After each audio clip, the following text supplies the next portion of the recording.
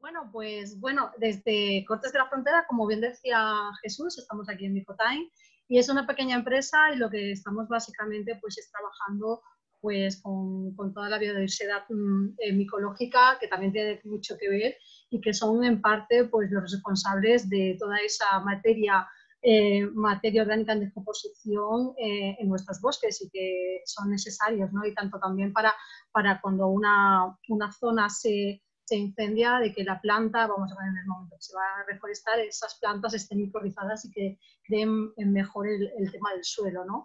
Es uno de los aspectos que la funja no se tiene, la, la, funga en general no se tiene en cuenta y que tenemos que tener en cuenta también a la hora, sobre todo, mmm, después de un incendio y también antes, ¿no? Para poder mmm, contrarrestar, pues todo es un material seco que puede estar. Igual que también comentaba Jesús, la población rural somos una parte de esa, de esa prevención de incendio, porque si no estamos en las zonas rurales, muchos de los espacios naturales que tenemos en la zona pues se van a ver totalmente eh, desolados, despoblados y, y cuanta más eh, personas estemos en las zonas rurales y en los medios rurales, más, eh, más, digamos, más protección vamos a tener de esos medios. Pero claro, para eso muchas de las líneas de financiación también tienen que venir para estas zonas rurales y para poder emprender en ello.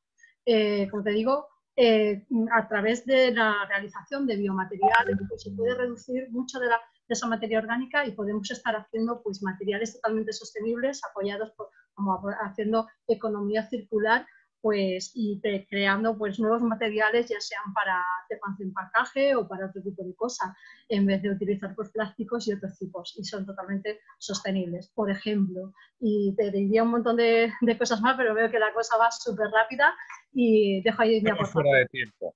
Beli, simplemente, podemos decir que vosotros podéis utilizar parte de ese residuo forestal y agrícola en vuestra actividad, por tanto, reduciendo la carga de biomasa y previniendo los incendios. Exacto.